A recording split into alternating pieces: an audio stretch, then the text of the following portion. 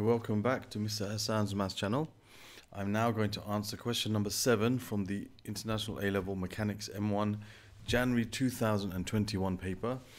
Um, this question is about a helicopter which is hovering at rest above a horizontal ground at the point H. A parachutist steps out of the helicopter and immediately falls vertically and freely under gravity from rest for 2.5 seconds. His parachute then opens and causes him to immediately decelerate at a constant rate of 3.9 meters per second squared for t seconds where t is less than 6 until his speed is reduced to v meters per second. He then moves with this constant speed v meters per second until he hits the ground.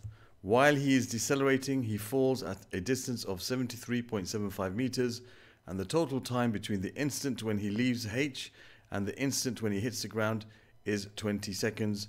The parachutist is modeled as a particle. Find the speed of the parachutist at the instant when the parachute opens. So that's part A, finding the speed of the parachutist at the instant when the parachute opens.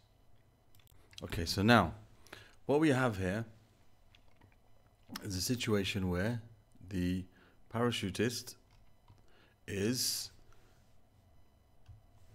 jumping from the helicopter, he's going vertically down. So I'm going to take down as positive. He's under a constant acceleration of gravity for the first two seconds. So it's constant acceleration, so we can use the Suvat equations because therefore constant acceleration. And we know that he's going down, so the gravitational force is 9.8 positive. Because he's going down, I'll take down as positive. Now, um, we have to find the speed of the parachutist. We don't know how far he falls in those first 2.5 seconds. Um, no, we don't know how far it falls in those first 2.5 seconds. We know his initial speed is zero, and we have to find his final speed. Okay, his initial speed is zero because he falls from rest. Okay, from rest, he falls from rest. And the time he falls for is 2.5 seconds. So we, we can see we need to find V. We have U, A, and T. So this is a pretty simple one. V equals U plus AT will suffice. So V, what we have to find is equal to 0 plus 9.8 multiplied by 2.5. And that gives you his speed at the instant when the parachute opens. Okay, so you have 9.8 multiplied by 2.5. And that gives you 49 over 2, which is 24.5 meters per second. So that's the speed of the um, parachutists when his parachute opens. 24.5 meters per second. Okay, then it says part B, sketch a speed time graph for the motion of the parachutist from the instant when he leaves the helicopter to the when he hits the ground. Okay, so we're going to have here our y-axis. Okay which is the velocity or the speed. To have our x-axis which is the time. So this is the speed in meters per second and this is the time in seconds. Okay so he starts off from rest and he reaches a speed of 24.5 meters per second in 2.5 seconds. So he starts off time equals zero from rest when he's standing in the helicopter. And his speed reaches 24.5 meters per second in 2.5 seconds. Okay, so we can say that this is how the graph will look for the first 2.5 seconds. Constant, constant acceleration, speed increasing. Okay, the acceleration due to gravity here is 9.8. And then it says um, his parachute then opens and causes him to immediately decelerate at a constant rate of 3.9 meters per second squared for t seconds. Okay, so he's going to now, his speed is going, going to decrease for t seconds. So there's a time, there's a time frame here of t seconds, which we don't know what it is. Okay, we don't know what that time frame is, but there's a time between 2.5 and here. So this is basically this distance here is t. So this is t plus 2.5 seconds. 2.5 seconds more than t. All right, that is the value here, and his his velocity dropped from 29.5 to v. We don't know what v is, but it has to be something low because he's going to hit the ground with that velocity. So I'll put it down there. So we can say that at that time, whoops, at that time, which we don't know what it is, okay, we don't know what it is, he's going to um, hit the ground. He's going to not hit the ground, he's going to reach the velocity of v, sorry. So he's going to go from there to there, from that speed to that speed in t seconds, okay?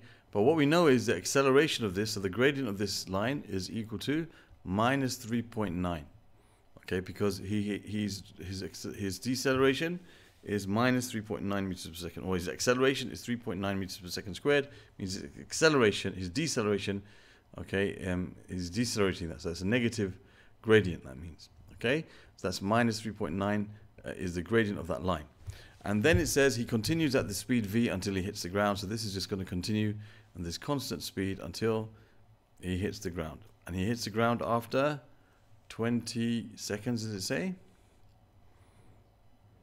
In second, 20 seconds. So the whole, the total time that he took to hit the ground was 20 seconds. That's 20 up to here. Okay, so there we have the speed time graph for part B.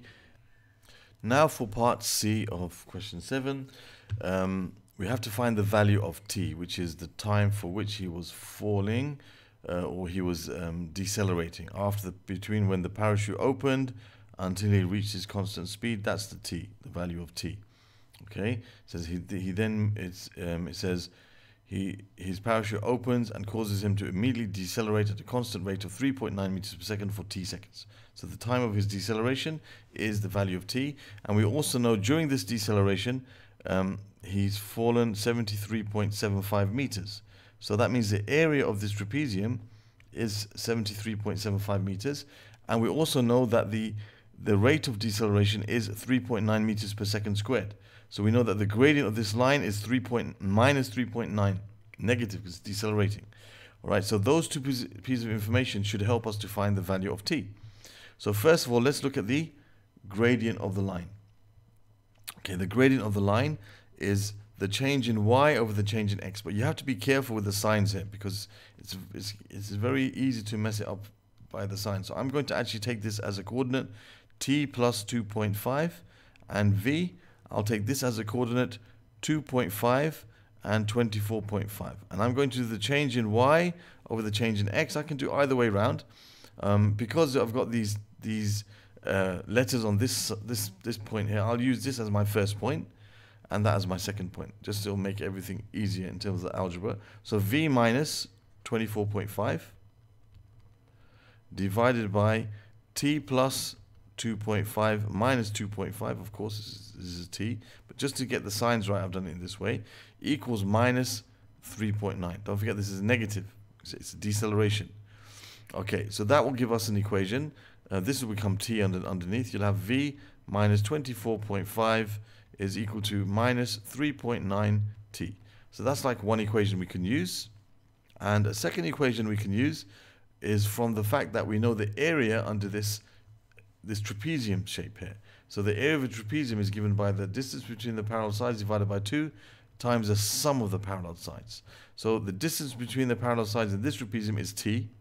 So we have t divided by 2 times the sum of the parallel sides. Well, the parallel sides are this side here, which is 24.5, plus this side, which is v, which we don't know. But we know that this, this area is equal to 73 0.75 meters. So from here we can derive another equation. Um, I can multiply both sides by 2. So I have t times 24.5 plus v equals, that's 2 times 73. That's going to be 146 plus, um, plus 1.5, 147.5. Let me just make sure of that. 73 0.75. Oops, what am I doing? 73.75 multiplied by 2 gives you 147.5. Okay, so we know we're right there. So let me just um, expand this bracket here. So you have 24.5 times t, which is 24.5 t plus t times v equals 147 0.5. So like we have another equation here.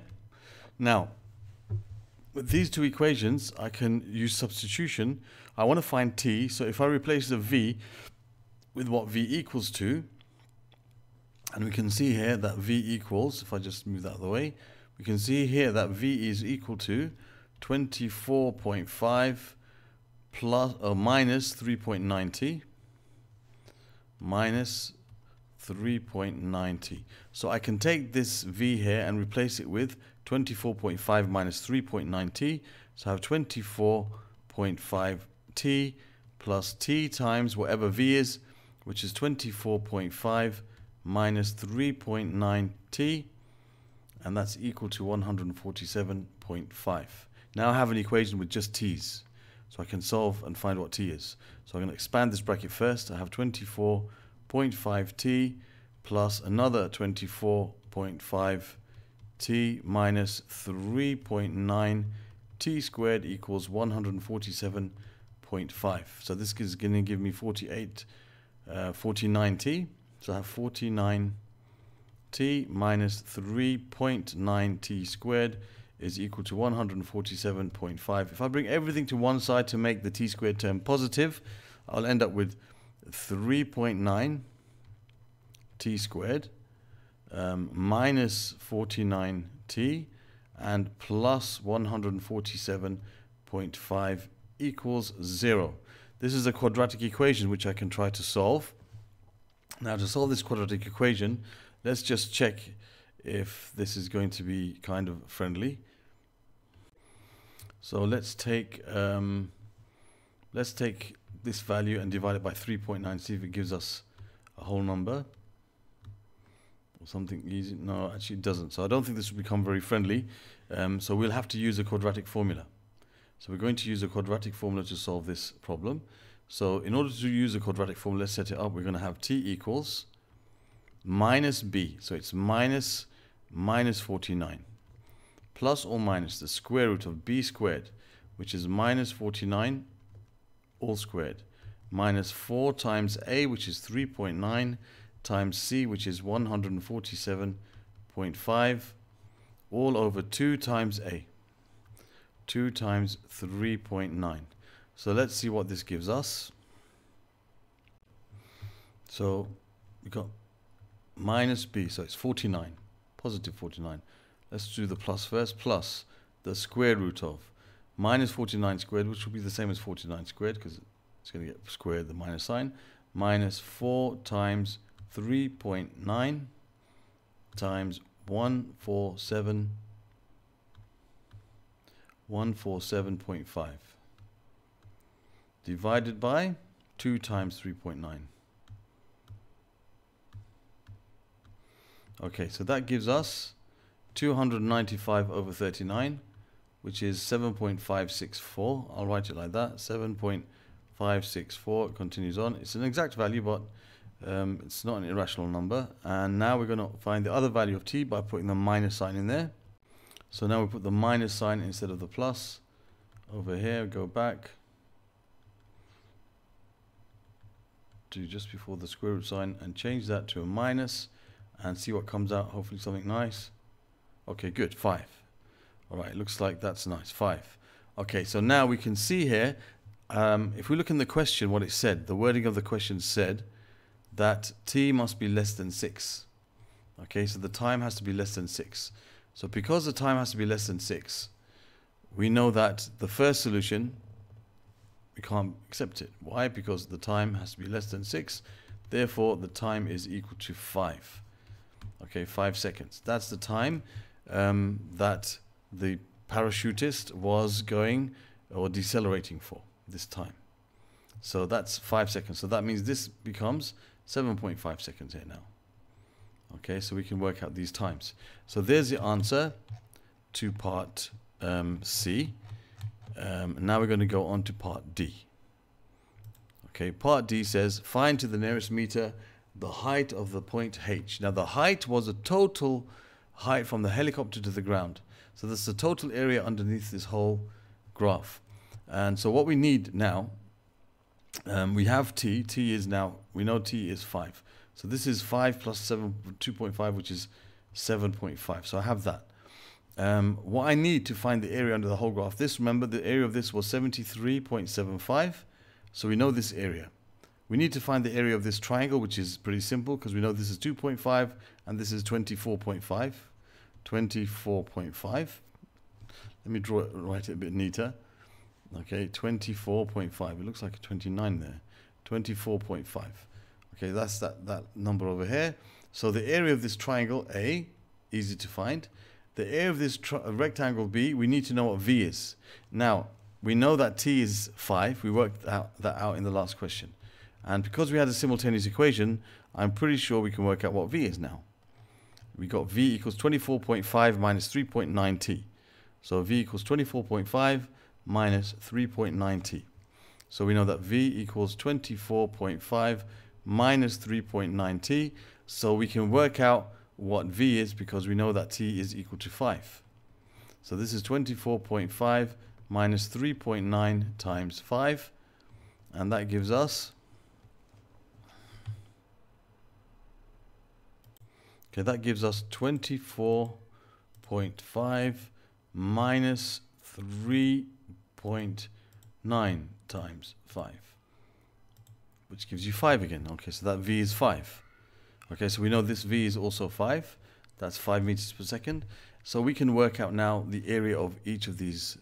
So we can say that the H is equal to the area of the first part, which is 2.5 times 24.5 divided by 2 plus the area of the second part which they already told us was 73.75 plus the area of this last rectangle which is going to be the distance between here and here times 5 so it's 5 times 20 minus 7.5 okay so that will give us the total um, the total distance that this person has fallen this parachute has fallen to the ground. So let me get out the calculator and work that out.